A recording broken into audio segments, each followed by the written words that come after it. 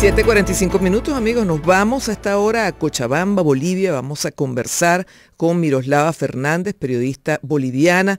Bueno, como hemos estado comentando en titulares, fue detenido el gobernador opositor de Santa Cruz por presuntamente estar involucrado en el golpe de Estado a Evo Morales. Ah, hay que aclarar que, según entiendo, y quizás pues esta es la primera pregunta para Miroslava Fernández, es el gobernador, entiendo que en ejercicio. Miroslava, muy buenos días, te saludamos.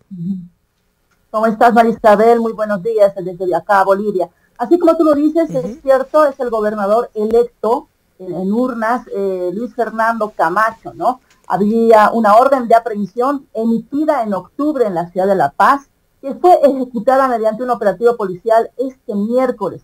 Personal encapuchado, armado, interceptó el vehículo del gobernador de Santa Cruz, que recordemos es opositor al actual gobierno, que participó como líder cívico antes de ser gobernador del 2019 y como autoridad durante el paro de esta región que duró más de 30 días. Entonces, Luis Fernando Camacho, podríamos decir que según la oposición ha sido el artífice de toda esta movilización que se ha realizado y obviamente también a quien culpan por el llamado golpe de Estado, que es parte de un juicio contra Yanine Áñez, que fue la expresidenta del país.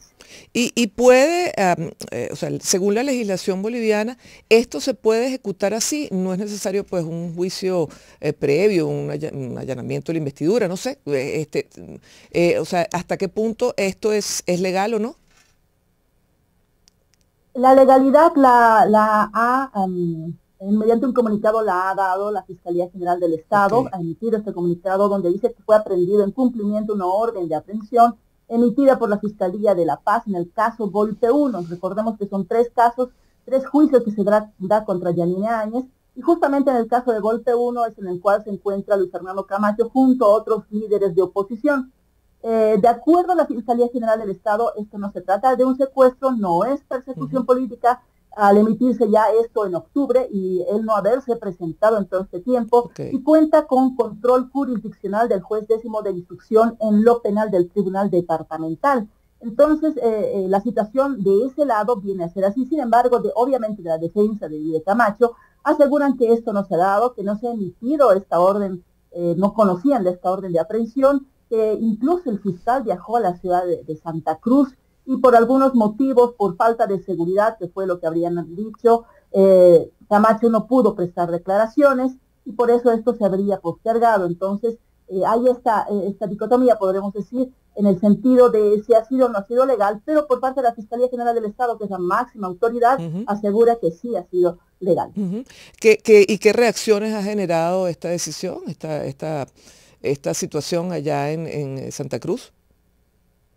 Bueno, por parte de la, del oficialismo, por ejemplo, el primer mensaje que se dio fue de Andrónico Rodríguez, que es el presidente del Senado, que ha celebrado que el Ministerio Público cumpla con la demanda del pueblo boliviano y él eh, hace referencia a las víctimas de Sacaba y Cercata del 2019 y por las pérdidas humanas y económicas en el paro cívico realizado en Santa Cruz en esta gestión. Entonces asegura que no se tolere de esta forma la impunidad y que quienes promueven un golpe de Estado violan los derechos humanos sepan que existe la justicia.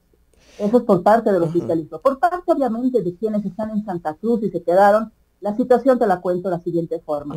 el, operativo que fue llamado Operativo Lobo Especial, eh, dirigido por eh, inteligencia de la Fuerza Especial de Lucha contra el Narcotráfico, em, fue de vehículos que hicieron una persecución al auto de, de Camacho, solamente se ve el video al interior del auto, en el cual eh, aseguran, de acuerdo al video, que el auto fue golpeado en la parte lateral, golpeado en la parte de atrás, ellos esquivaron otros vehículos, se puede ver en el video, y eh, entra un gas lacrimógeno por la ventana, disparan un gas lacrimógeno y esto obliga a que ellos se detengan y salgan obviamente al, al césped, donde podían apenas respirar, y en ese momento entran las personas armadas y los ponen boca abajo en el piso eh, ahí maniatan a todos los que estaban en el, vehículo, creo, creo, que eran como tres personas, eh, y se llevan a Camacho. Entonces la información sale rápidamente por las redes sociales, eh, la ciudadanía se va a, se agolpa en el, en el aeropuerto internacional de Virubiru y eh, invaden el lugar, votan a la gente de seguridad, los policías militares, em, piden que salgan los operarios de, de las diferentes aerolíneas empiezan a eh, revisar mm, aeronave por aeronave para ver si podían encontrar a Luis Fernando Camacho. Wow, pero eso es una película, me estás narrando una película, Miroslava. Así es, ya hay imágenes de todo eso.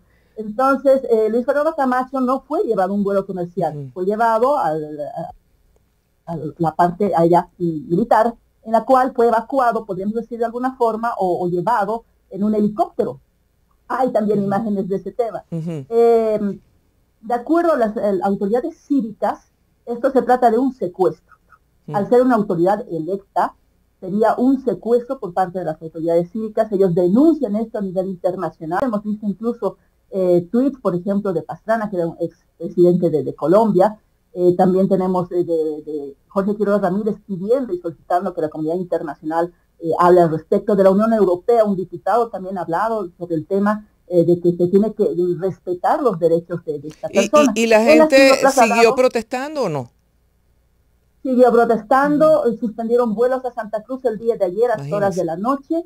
Empezaron también los bloqueos en las carreteras, quemaron la fiscalía de, en Santa Cruz, la fiscalía, eh, quemaron el ingreso a la casa del ministro de Obras Públicas, que es de Santa Cruz, y hubieron enfrentamientos hasta muy altas de la madrugada, horas de la madrugada, en el comando departamental de la policía, porque obviamente los autoconvocados, que es como se llaman ahora, como fue una situación tan, tan rápida, que no tuvieron tiempo, por ejemplo, de, hablar de que sean organizados, son autoconvocados, eh, tuvieron enfrentamientos eh, con, las, eh, podríamos decir, instituciones que culpan que ellos han, han apoyado esa aprehensión del gobernador Luis Fernando Camacho. ¿Cómo amanece hoy Santa Cruz?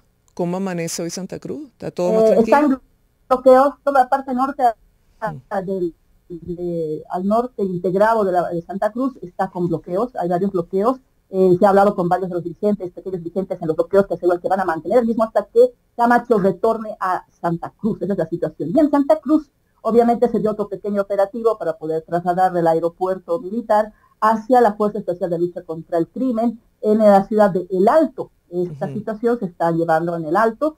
Tengo entendido que próximamente, eh, en el curso de la mañana, se va a emitir ya, eh, podríamos decir, la situación, se va a conocer ya la situación legal eh, por parte de la Fiscalía ah, en la ciudad de La Paz.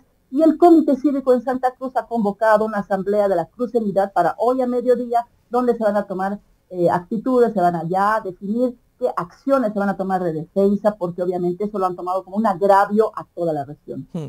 Bueno, desde aquí muy pendientes con esta, con esta situación, veremos qué sucede entonces en esta reunión y por supuesto en Unión Radio le haremos seguimiento. Muchísimas gracias, Miroslava, periodista boliviana, Miroslava Fernández, y mm, bueno, tensión entonces allí en la ciudad de Santa Cruz en Bolivia. 7.53 minutos.